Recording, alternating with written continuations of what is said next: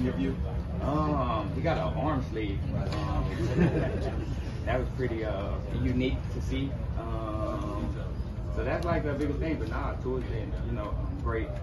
Like he knows the offense, knows it um, very well. So he just uh, continues to be a great leader. Um, and, you know, look for him, um, look to him.